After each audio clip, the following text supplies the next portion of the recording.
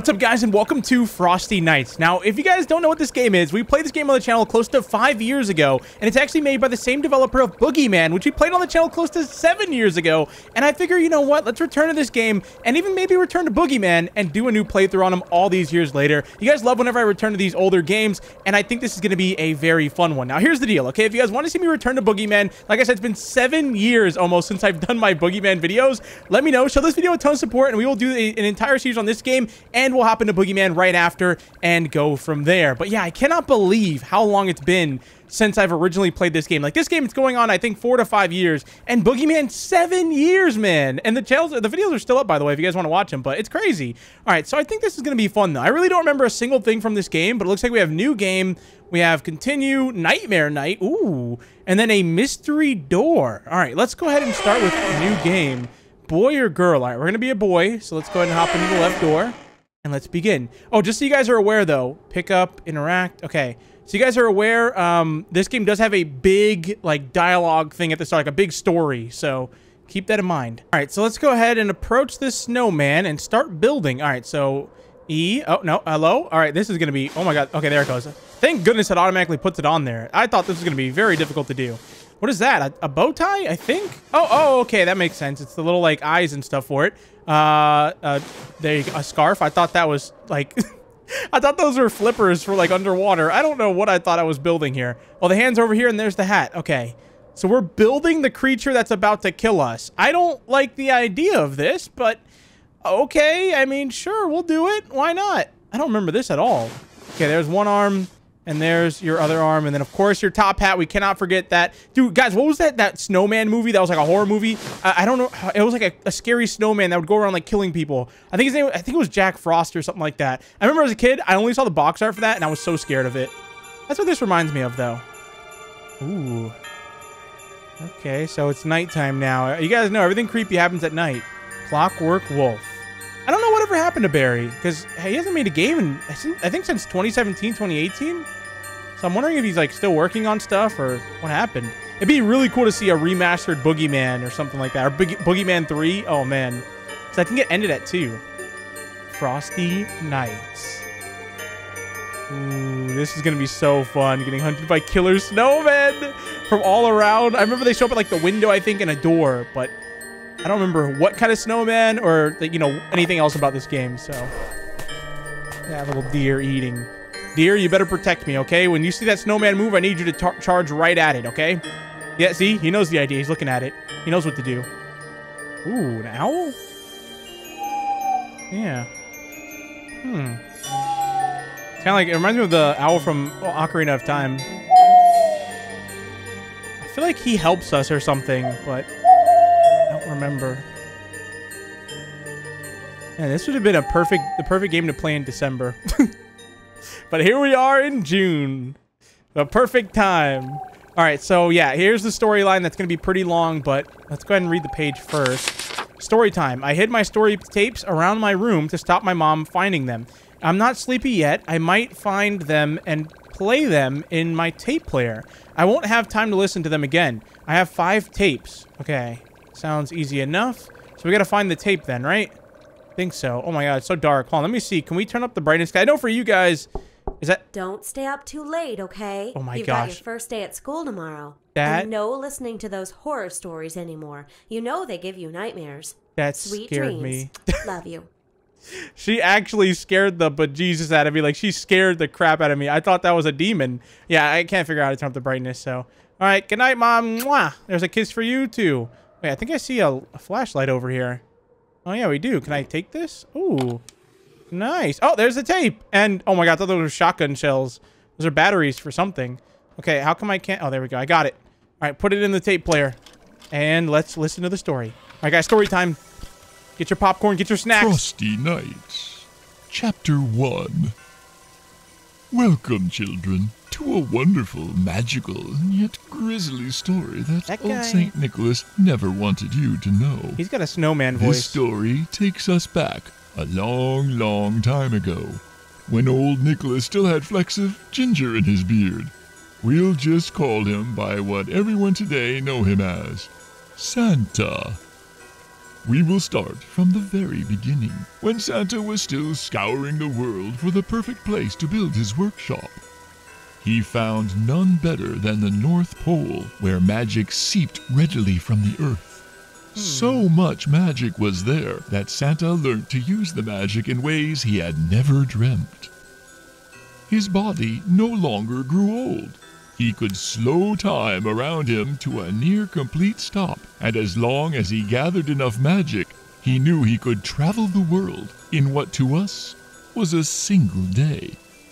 Even slowing time as he could, Santa quickly realized Dude, he's in the to make enough toys for every Neo. child in the world would take him far too long. So Santa placed his hands into the snow and called to Mother Nature herself for help. Mother Nature was gentle as she was wild.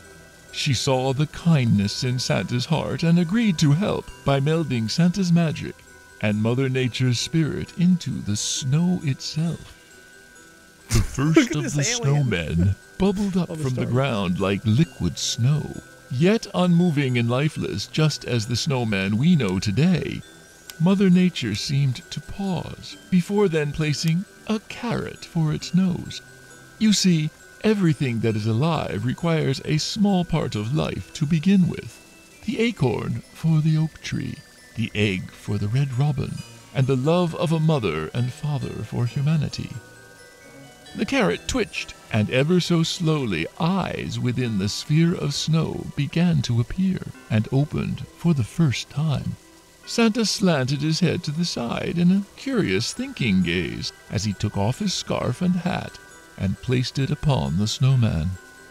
Taking a step back, he looked again and smiled. The snowman smiled back. As Santa the father and Mother Nature as the mother, the snowmen were all too happy to help Santa build his workshop and all the toys for every child in the world. There he is. Oh my god. Oh, all right. So that's. Oh, do I have to find all five tapes? Oh my gosh. Okay. I, I remember the storyline being very long, but man, yeah, it is definitely going to be a long story time here. All right, so uh, hello, whoa, whoa, whoa, whoa, buddies, whoa! What's going on with these tops of these boxes? What is happening? It's like pushing me around. What's it say? Hello. Oh, smile, guys. Can we get a smiley face in the comment section down below? Hello, it's sucking me in. What is happening? Those boxes are evil. What is going on? It started pulling me in. Wait, was there another smiley face up there? Thought I saw another one. All right, let, us find these tapes, dude. I'm getting attacked by a set of boxes. Oh, I need a new battery for my flashlight. Give me this. I need a new one. How do I, how do I put it in? It won't even. How do I? I don't even know. I don't know what's happening. It won't let me. Okay, fine, fine, fine, fine, fine. No, no flashlight apparently. Oh, a hair dryer? Huh. Okay. I don't know if we actually have to find another book, but I mean, we might as well have a look around, right? What is this? Some tape? Yeah. What do I have that in there? Ooh, what's in here? Uh, basketball. Oh, another tape. We found it. Wait, am I holding it? Yeah, I am. Okay, there it is. Plop it on in, buddy. Let's give it a listen. From up here, on top of the rat. Mouse? Probably a mouse. Chapter 2 Okay. Many years had passed, and children throughout the world had Christmas within their hearts. Santa had delivered toys year after battery. year to the children of the Oh, world. I got one. And the world was a better place for it. However, there were children who were not happy with Santa's toys alone, and demanded more and more. The parents of many of these children succumbed to their child's wishes and began to buy more and more as each year passed. Look at him out there. Each year, more and more trees were getting cut down. Toy factories could not keep up with the demand, and forests were not being replanted and regrown as Santa did with his magic. Mother Nature watched as the birds, squirrels, deer, bears, and countless more of her children were left homeless and died. Mother Nature once saw humanity as her children, but each year, as the destruction for toys carried on, she became more and more furious. Santa understood Mother Nature's anger and tried to make amends by creating the naughty list. Any child who was undeserving would not receive Santa's toys. and the spare magic from making those toys would be given to the forests of the planet to help grow and recover. Mother Nature was happy for a time, until even this did not offset humanity's greed. Humans, now with great machines, powered from the fossils of her most ancient children, began to pollute the air, water, the earth. Forests vanished before her eyes, and entire species began to die. Mother Nature wept for many years, hoping humanity would hear her and stop the pain they were causing. Her cries were drowned out by the drills boring into the planet, the saws biting into the trees, and the roaring of flames in engines. The pain turned to anger, and the anger to fury. Santa was helpless as Mother Nature's suffering began to warp the minds of the snowmen. One by one, they stopped working on toys and slowly but surely faded into the distance as they left the workshop behind. Santa eventually found the elves high up in the mountains that were glad to be of help to Santa. However, our story is with the snowman and not Santa. Oh, I gotta find another tape, dude. Where are they at? Okay, so, uh, I mean, we don't have very much battery, so I gotta kind of conserve it. Wait, oh. I wonder if they can, like, spawn in areas that... Oh, they can. Okay, okay, okay. So that one, the other one will probably be in there and then, like, in here. Okay, back up here we go. Chapter Story time. 3 John had just gotten snowman. home from school. He quickly grew excited as he spotted the snowman outside his bedroom window. John's dad often made him surprises, and he quickly ran out to decorate the snowman. John used his favorite scarf and hat and found the shiniest rocks he could for the buttons. John was very proud of his decorations, and soon it was time for him to go to bed. Looking out the window, he smiled at the snowman as his eyes slowly began to close. John awoke with a chill in the air and snow on his bed. He opened his eyes to see the window was wide open. Confused and sleepy, he got up and closed the window. As he looked out, however, he noticed the snowman's hat was missing. It must have blown off in the wind, he thought. Upon getting back Go into bed, hat. he found the hat on top of his covers. He stopped and thought for a moment. His mom must have taken it off and put it there for him. After all, he no longer had a hat to wear for school tomorrow, and it was very cold outside in the mornings. The next day, John returned again from school, and a second snowman was right next to the first. He couldn't believe it. His dad had built him a second. He went into the closet and found his box of old worn clothes, hats and scarves, too tattered to wear, but sentimental enough to keep. John decorated the second, and again smiled with pride, as it almost seemed like the snowman smiled back at him. A trick of the imagination. And John thought how cool it would be if snowmen really were alive. I don't like listening to this while staring at this creepy snowman outside, dude. I'm not a fan. All right, so, oh, look, yeah, it spawns in right there in front of me. All right, so we have one more tape. We know it's going to be in here, though, but... All right, last two stories, I think. Chapter 4 The sound of snow filled wind blowing through the room, the screech of an open window hinge as it bangs to and fro. John opens his eyes once again, tiredly shuffling out of bed to close his window. John freezes as his hand reaches for the latch. Only one of the two snowmen are outside his window. Why has someone moved it? John hears a dripping sound coming from his closet.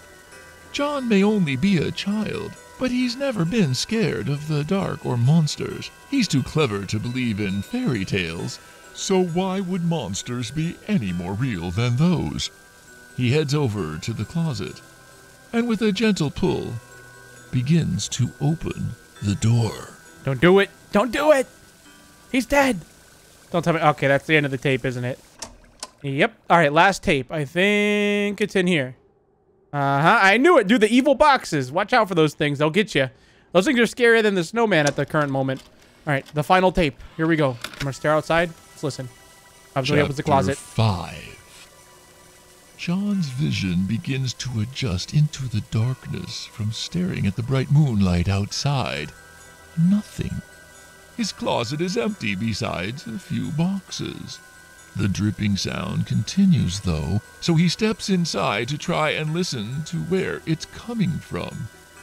As he does so, he hears a loud thud near his still open window. John pokes his head out of the closet, and there in front of the window is the snowman that only a minute ago was standing outside. The snowman is different, lifelike, with sharp, pointed teeth and a hungry grin curling more and more to the sides as it starts to move closer. John is frozen in fear. He doesn't understand. There is no logical explanation. Oh, He uh-oh. slowly backs away, further into the closet. He feels something wet on his head. Drip, happening? drop, drip, drop. Is there something As on my John head? looks no. up, Okay. The missing snowman is on the ceiling, holding itself up with Where- big, where is he? branched arms. Where is he? John sees the other snowman now in front of the closet, arms reaching. The closet door begins to close, and complete darkness envelops John. Rough knotted branch need a new fingers wrap around John's head, and a gruesome snap and popping sound echoes through the room They got him. from that dark closet. John is never seen again. Oh. The house is put up for sale shortly after. However, with the disappearance of John well known throughout the town, a young boy who suddenly vanished without a trace from his bed one frosty night, the house remained unsold and empty for many years. Until this night, in fact, which, my child, is where our story begins. So. Oh, whoa, whoa, whoa, whoa, whoa, whoa! It's the alien! Watch out! I was kidding. Um. Oh, wait. Did I just see? I thought I saw someone. I think it's that. All right. Well, that was a creepy story. I would not be listening to that before going to bed. But hey, that's just me. Let's uh go to bed. I guess. Are we? Are we good? Am I good, bro? Or am I gonna get attacked? What's going on with the tape? I don't know. Okay, that's all the tapes, right? So why isn't it? Let me go to the front door. Let me see. I thought I saw someone out there, but no. I wish I could turn on the light in here. That'd be great. I think he wants me to go inside the closet, maybe. Oh, no, it's done. What's that? Who's writing? Who just wrote something? Uh, the strategy plan. The snowman is coming. I have to prepare. I need to find something to scare snowmen. Something to see in the dark. Something to bind both of us, both of them together. Trying to swap between them would be dangerous. I should bring everything to the table. Okay, I know this you definitely need. I remember you can, like, melt them or, or something with that thing. Um, what else do we have? This, maybe? Some tape? You want some tape? Huh? I don't know. Oh, that's it. Okay, cool. I'm making a blow dryer weapon. oh, dude, check this out. Wait, I'm wasting all my battery. This thing is sweet. Action plan. Before each night, I should search for useful things and put them where they will help. Best defensive position start night on the bed. Okay, so, uh, first thing we need, alien. No, okay, wow, won't even let me pick them up. All right, we need these batteries though, but it, it won't even let me grab them, so guess not. Is there anything in here that I might need? This giant green ball? No, okay. It literally doesn't let me collect anything. What do you want me to have, game, if I can't collect it? Where is it? There's nothing here that I need. All right, let's just start the night duty. I can't. Can I at least grab the rabbit? Nothing. The ball. The ball. The ball. Please. There we go. I got something. I can at least throw this at him. Okay, never mind. It go. uh, There goes the ball. All right, let's just start the night. That's fine. The ball just fell through the bed. Oh boy, dude, it's so dark in here. Oh, night one. Let's do this. All right, so I gotta watch the closet. I remember it said it said something about the ceiling, the window over there, the window over there, and probably under the bed if it's anything like Boogeyman. Let's do this. Now, it is only night one, so I think it's to start pretty slow. But, oh yeah, we got to open up this. Wait, what? Oh my god! Oh my god! I didn't know it! Oh, no. How do I? Oh, you right click, right click. Okay, that is off to a very quick start. I did not know to grab a battery. You had to go over there like that. I almost died right, right at the beginning.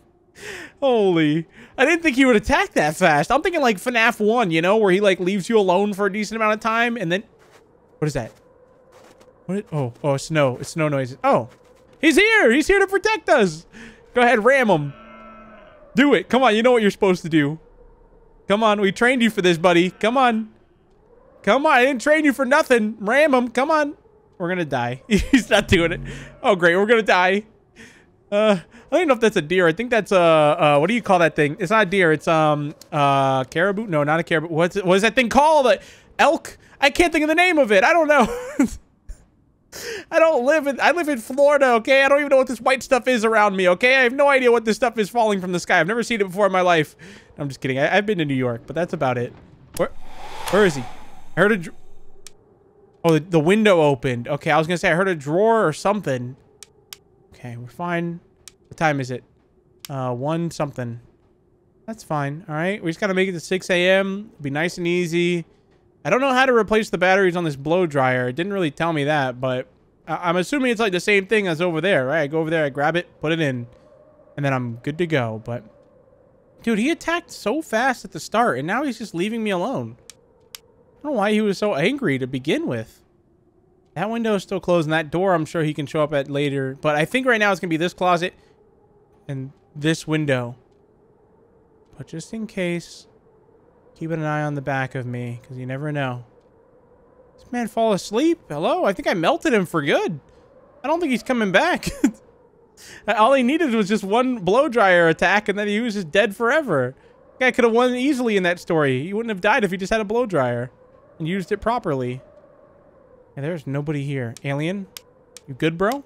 Okay, good. Just making sure. Rabbit? Good? Okay, just making sure. Because this guy is not moving. Oh my god, it's almost 3 a.m., dude. We're going to win. Without even doing anything. I don't see him, so... I mean, I, he could be, like, in the dark. Oh, I I just saw something at that window, but... I think we're good. this guy fell asleep. I wish he could, like, move around during the night you know, just like walk around and uh, I guess that'd be kind of OP, but it would be nice to do. Oh my God. What? Is he on the ceiling? He is up there. Oh, he's opening the other window. Oh, look. You can see his hand. They disappeared. That's kind of cool. Man, I don't remember any of this. Then again, eh, you know, four or five years ago, eh, I'm not going to remember this. and that, with it being that long. I think when I recorded this game, I think I was still living at my parents' house or at my apartment maybe, but it was a long time ago.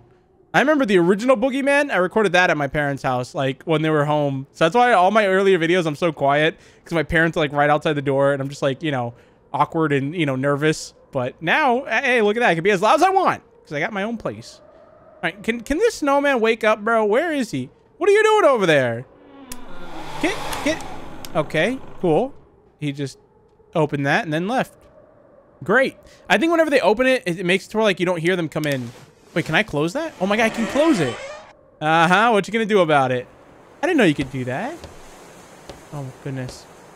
Yeah, so if they leave it open though, they can like sneak in and you don't hear them. But if the door is closed, you hear like a like we just heard.